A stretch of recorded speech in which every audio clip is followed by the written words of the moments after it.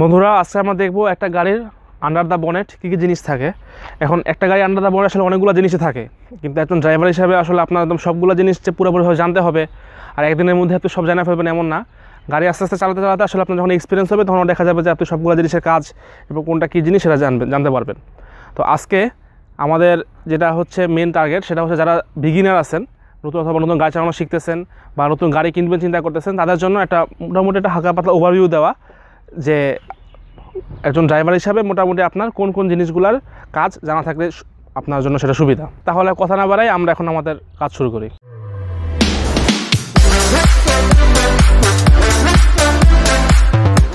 গাড়ির বয়ান খোলার পরে সর্বপ্রথম আমরা জিনিসটা দেখতে পাবো সেটা হচ্ছে গাড়ির ইঞ্জিন। এখন এই গাড়ির ইঞ্জিনের উপরে এই গাড়ির ক্ষেত্রে হচ্ছে একটা ইঞ্জিনের কভার এর ভিতরে আসলে ইঞ্জিনটা আছে। এখন গাড়ির ইঞ্জিনের কাজ কি? গাড়ির ইঞ্জিনের কাজ হচ্ছে আপনার গাড়িটাকে মুভ করানোর জন্য যে পাওয়ারের প্রয়োজন, সে পাওয়ারটা কিন্তু জেনারেট করা হইতেছে ইঞ্জিন ইঞ্জিনের ভিতরে আপনার ফিউল তারপরে এয়ার এগুলো যে কম্বিনেশনটা কিন্তু ইঞ্জিনের ভিতরেই তৈরি হয়।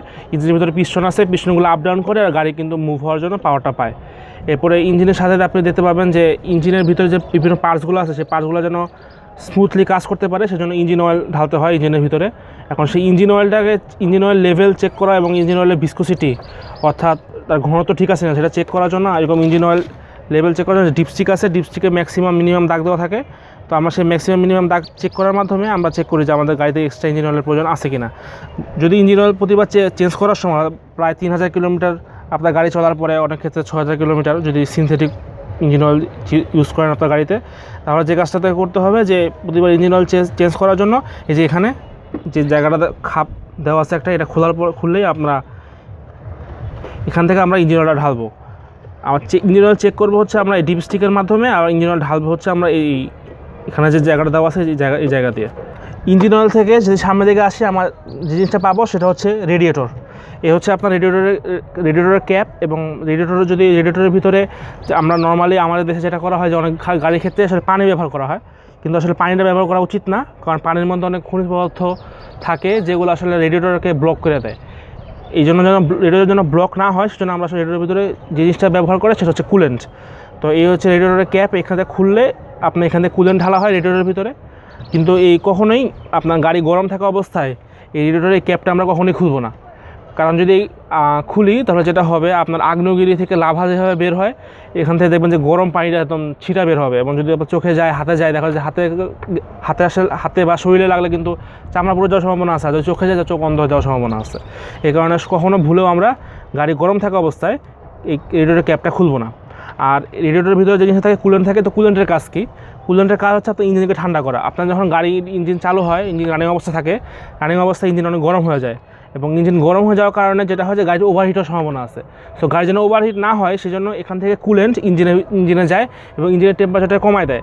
এবং কুলেন্টটা কিন্তু থাকে ঠান্ডা। ঠান্ডা কুলেন্ট যখন আপনার ইঞ্জিনের কাছে যাচ্ছে ইঞ্জিনটা গরম, ইঞ্জিনের টেম্পারেচার কমতেছে কুলেন্ট আবার গরম হয়ে যাচ্ছে। সেই কুলেন্টটা যখন হুস পাইপ আছে, সেই হুস পাইপটা আবার রেডিয়েটরে আসে এবং রেডিয়েটরে একটা ফ্যান আছে। এই ফ্যানটা যখন ঘুরে আপনার রেডিয়েটরের যে কুলেন্ট সেটা কিন্তু ঠান্ডা হয়। এভাবে কিন্তু কুলেন্টটা বারবার ইউজ হচ্ছে ইউজ হইতেছে। আর ফ্যানটা আছে হচ্ছে আপনার এই জায়গাতে। আপনার রেডিয়েটরের সাথে।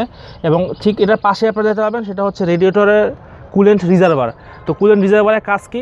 রিজার্ভারের কাছে যদি কোনো কারণে আপনার কুলেন্টটা কমে যায়, তখন দেখা যাচ্ছে রিজার্ভার থেকে কুলেন্ট আপনার রেডিয়েটরে আসে। এখন প্রতিবার আমরা যখন যখন মেনটেন্যান্স চেক আপ করি যে কুলেন্টের পরিমাণ সরি রেডিয়েটরের পরিমাণ মতো কুলেন্ট আছে কি না সেটা চেক করার জন্য কিন্তু আমাদের আসলে এই ক্যাপটা খোলার প্রয়োজন নেই। আমরা কিন্তু প্রতিবার রিজার্ভারে ম্যাক্সিমাম মিনিমাম দাগ দেওয়া আছে।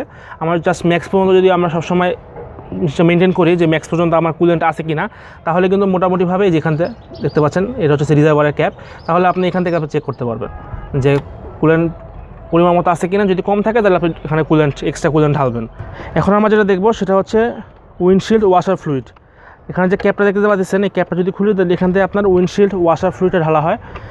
এখন এটারও কিন্তু ম্যাক্সিমাম মিনিমাম দাগ দেওয়া আছে। আপনারা সেই অনুযায়ী দেখে দেখে উইন্ডশিল্ড ওয়াশার ওয়াশার যদি কম থাকে, তাহলে পরিমাণটা দিয়ে নেবেন। আর উইন্ডশিল্ড ওয়াশার ফ্লুইডের কাজ কি? উইন্ডশিল্ড ওয়াশার ফ্লুইডের কাজ হচ্ছে উইন্ডশিল্ডকে পরিষ্কার করা। অনেক সময় দেখবেন যে উইন্ডশিল্ডের মধ্যে রাস্তা ধুলাবালি বা বৃষ্টির সময় কাদা এসে উইন্ডশিল্ডের মধ্যে পড়ে। তো সেই কাদাকে পরিষ্কার করার জন্য এই উইন্ডশিল্ড ওয়াশার ফ্লুইড থেকে যে আমরা নর্মালি এখানে পানি দেয় অনেকে শ্যাম্পু পানি বা এর জন্য ডেডিকেটেড উইন্ডশিল্ড ওয়াশার ফ্লুইডও পাওয়া যায়। তো সেই জিনিসটা এখান থেকে আপনার গাড়ির উইন্ডশিল্ডে যাবে এবং উইন্ডশিল্ডটাকে পরিষ্কার করবে।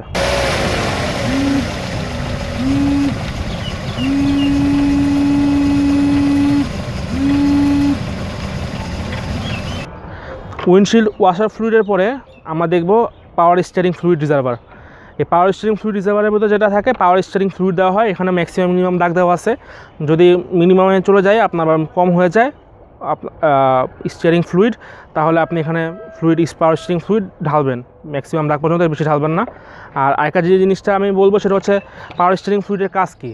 পাওয়ার স্টিয়ারিং ফ্লুইডের কাজ হচ্ছে মেনলি আপনার গাড়ির পাওয়ার স্টিয়ারিংটাকে যেন স্মুথলি কাজ করে সেই জিনিসটা মেনটেন করা। নর্মালি আপনার গাড়িতে যদি এখন ম্যানুয়াল স্টিয়ারিং বা নন পাওয়ার স্টিয়ারিং হয় নন মানে উইদাউট পাওয়ার স্টিয়ারিং হয় অথবা যদি ম্যানুয়াল স্টিয়ারিং হয়, তা অথবা যদি ইলেকট্রিক পাওয়ার স্টিয়ারিং হয়, তাহলে কিন্তু আপনার গাড়িতে এই জিনিসটা থাকবে না। অর্থাৎ আপনার গাড়িতে এক্সট্রা পাওয়ার স্টিয়ারিংয়ের জন্য এক্সট্রা ফ্লুইডের দরকার নাই। পাওয়ার স্টিয়ারিং ফ্লুইডের একটা জিনিস হচ্ছে, যদি আপনার গাড়িতে পাওয়ার স্টিয়ারিং ফ্লুইড কম থাকে, তাহলে যে প্রবলেমটা হবে, দেখবেন যে আপনার গাড়ি স্টিয়ারিংটা হার্ড হয়ে গেছে। নর্মালি যখন গাড়ি যখন রানিং অবস্থা থাকে, তখন কিন্তু আপনার পাওয়ার স্টিয়ারিং আর উইদাউট পাওয়ার স্টিয়ারিং মধ্যে তেমন কোনো পার্থক্য নাই। কিন্তু গাড়িটা যখন স্থির অবস্থা থাকে, তখন দেখবেন ডানে বামে কাটতে গেলে পাওয়ার স্টিয়ারিং আপনি খুব ইজিলি কাটতে পারতেছেন এটার মধ্যে এক্সট্রা পাওয়ার দেওয়া আছে। এটা আপনার জন্য সুবিধা। পাওয়ার স্টিয়ারিং ফ্লুইডের পরে আমরা দেখব ব্রেক ফ্লুইড তো গাড়ির ব্রেক ফ্লুইডের কাজ হচ্ছে আপনার গাড়ির ব্রেকটা যেন ঠিকঠাক মতো কাজ করতে পারে, সেই জিনিসটা মেনটেন করা। সেই জিনিস এবং ব্রেকের কারণে ব্রেক ফ্লুইড যদি কম থাকে, দেখবেন আপনার গাড়ি ঠিকমতো ব্রেক ধরবে না এমনকি ব্রেক ফ্লুইড যদি না থাকে, আপনার গাড়ি ব্রেক ফেল হওয়ার সম্ভাবনা আছে। এই কারণে ব্রেক ফ্লুইডটা সবসময় পর্যাপ্ত পরিমাণ, অর্থাৎ ম্যাক্স পর্যন্ত আছে কি না সেটা সবসময় আপনি রেগুলার চেক আপের সময় আপনি জিনিসটা চেক করবেন। যদি আপনার গাড়ি ম্যানুয়াল স্টারিং ম্যানুয়াল গাড়ি, গিয়ারের গাড়ি হয়, তাহলে যেটা হচ্ছে আপনার গাড়িতে ক্লাচ থাকবে। আর সে ক্লাসটা যেন স্মুথলি কাজ করতে পারে, সে কারণে ঠিক এটার পাশেই আপনার গাড়িতে একটা ক্লাস ফ্লুইড রিজার্ভার থাকবে। যেহেতু এটা একটা অটোমেটিক ট্রান্সমিশন কার সে কারণে এখানে সেই ক্লাসের প্রয়োজন নাই, তাই ক্লাস ফ্লুইড রিজার্ভারও নাই। কিন্তু ম্যানুয়াল গাড়ি হলে এখানে একটা ক্লাস ফ্লুইড রিজার্ভার থাকবে। সেখানেও ম্যাক্সিমাম মিনিমাম দাগ দেওয়া আছে। আপনারা যারা রেগুলার চেক করবেন যে পরিমাণ মতো ক্লাস ফ্লুইড আছে কিনা। ব্রেক ফ্লুইডের পরে এখন আমরা যেটা দেখব সেটা হচ্ছে ইঞ্জিনের পাশে দেখবেন হচ্ছে অল্টারনেটর অল্টারনেটরের কাজ হচ্ছে আপনার গাড়ির যে যে যান্ত্রিক শক্তি অর্থাৎ মেকানিক্যাল এনার্জি যেটা প্রডিউস হতেছে সেই মেকানিক্যাল এনার্জিটাকে ইলেকট্রিক এনার্জি অর্থাৎ বিদ্যুৎ শক্তিতে কনভার্ট করার কাজটা করে হতেছে আপনার এই অল্টারনেটর অল্টারনেটরের মাধ্যমে ব্যাটারি ফুল চার্জ হয় এবং ব্যাটারি আপনার গাড়ি যখন প্রথম স্টার্ট হবে, যখন ব্যাটারিতে চার্জ থাকা প্রয়োজন, নাহলে কিন্তু আপনার গাড়ি স্টার্ট হবে না। আর একবার গাড়ি স্টার্ট হয়ে যাওয়ার পরে গাড়ির যে সমস্ত জিনিসপত্রগুলো ইলেকট্রিক কম্পোনেন্ট যেগুলো আছে, সেই জিনিসগুলো কিন্তু সেই জিনিসগুলোতে ইলেকট্রিক সাপ্লাই করার কাজ করে কিন্তু এই যে এই অল্টারনেটরের মাধ্যমেই কিন্তু ইলেকট্রিসিটি প্রডিউস হয় এবং সেটা ওই ইলেকট্রিক কোম্পানিগুলোতে গাড়ি রানিং অবস্থায় ওইসব জায়গাতে ইলেকট্রিক সাপ্লাই হচ্ছে। এই হচ্ছে গাড়ির ব্যাটারি এই হচ্ছে গাড়ির পজিটিভ টার্মিনাল এবং এটা হচ্ছে গাড়ির নেগেটিভ টার্মিনাল এবং আপনার গাড়িতে স্টার্ট হওয়ার জন্য ব্যাটারিতে চার্জ থাকাটা কিন্তু খুব প্রয়োজন। যদি ব্যাটারিতে পর্যাপ্ত পরিমাণ চার্জ না থাকে, তাহলে আপনার গাড়ি কিন্তু স্টার্ট হবে না। এবং গাড়ি বলুন থাকা অবস্থায় আমাদের যে মিউজিক সিস্টেম তারপরে হেডলাইট এগুলো জ্বলার জন্য কিন্তু ব্যাটারি ব্যাটারিতে চার্জ থাকতে হয়। ব্যাটারি থেকেই সাপ কারেন্টের সাপ্লাই নিয়ে কিন্তু এই জিনিসগুলো গাড়ি বন্ধ থাকা অবস্থায় জ্বলে আর আমি আগেই বললাম যে গাড়ি রানিং অবস্থায় ইলেকট্রিক ইলেকট্রিক যে কম্পোনেন্টগুলোতে ইলেকট্রিক সাপ্লাই হয় হচ্ছে অল্টারনেটারের মাধ্যমে। এরপরে আমরা যেটা দেখব সেটা হচ্ছে ফিউজ বক্স অর্থাৎ আপনার গাড়িতে যে যে সমস্ত ইলেকট্রিক কম্পোনেন্টগুলো আছে, সেগুলো যেন ভালোভাবে কাজ করতে পারে, কতটুকু ওখানে কারেন্ট প্রয়োজন, সেটা নিয়ন্ত্রণ হয় কিন্তু এই ফিউজ বক্সের ফিউজগুলোর মাধ্যমে। এখানে দশ এম্পিয়ার পাঁচ এম্পিয়ার পনেরো এম্পিয়ার থেকে পঞ্চাশ এম্পিয়ার পর্যন্ত, তিরিশ এম্পিয়ার চল্লিশ এম্পিয়ার এরকম বিভিন্ন মাপের আর কি আপনার ফিউজ আছে। আর কোনটা কিসের ফিউজ সেটা আপনি যে যে ফিউজ বক্সে যে ঢাকনাটা আছে ঢাকনার মধ্যে লেখা থাকে যে, কোনটা কোনটা হ্যাজার্ডের কোনটা হেডলাইট মেন কোনটা হর্নের জন্য, প্রত্যেকটা প্রত্যেকটা ফিউজ কম্পোনেন্টের ফিউজ কোনটা, সেটা কিন্তু এখানে থাকে। এখানে আমরা দেখে চেক করে নেব, যদি কোনোটা নষ্ট হয়ে যায়, সমস্যা করে। আমরা নিজেরা এসে চেক করতে পারব। ফিউজ বক্সের পাশে যে বক্সের মতো জিনিসটা দেখতে পাচ্ছেন, এটার ভিতরে আছে এয়ার ফিল্টার অর্থাৎ গাড়িতে কিন্তু শুধু জ্বালানি হিসেবে কিন্তু শুধু ফিউল ইউজ হয় না, জ্বালানি হিসেবে কিন্তু আপনার এয়ারও ইউজ হয়। এয়ার এবং ফিউলের যে মিক্সচার সেই মিক্সচারটাই কিন্তু গাড়িতে প্রপার ফিউল হিসাবে ব্যবহার করা হয়। এবং অর্থাৎ তেল তেল এবং বাতাস দুটো একসাথে মিক্স করা হয়। তো বাতাসটা কোন জায়গা থেকে পাবে? বাতাসটা পাবে হচ্ছে আপনারা প্রকৃতির আশেপাশে পরিবেশ থেকে। তো পরিবেশে যে বাতাস বাতাসের মধ্যে ধুলাবালি আছে ওয়েস্ট ম্যাটেরিয়াল যেগুলো আছে। তো সেই ওয়েস্ট ম্যাটেরিয়ালগুলোকে ছাকার জন্য বা সেই ওয়েস্ট ম্যাটেরিয়ালগুলো যেন আপনার ইঞ্জিনের ভিতরে প্রবেশ করতে না পারে, সেই জন্য একটা এখানে একটা এয়ার ফিল্টার ব্যবহার করা হয়েছে এই এয়ার ফিল্টারের কাজ হচ্ছে সেই জিনিসগুলোকে ছেঁকে নেওয়া। এয়ার ফিল্টারের পাশে এ হচ্ছে আমার থ্রোটল বডি তো থ্রোটল বডির ভিতরে একটা বাটারফ্লাই ভাল্ভ থাকে। ভাল্ভ হচ্ছে একটা দরজার মতো। সেই দরজাটা খুললে বাতাস আপনার ইঞ্জিনের ভিতরে ঢুকে। অর্থাৎ যে বাতাসটা আমরা গাড়িতে ইয়া জ্বালানি হিসেবে ব্যবহার করব।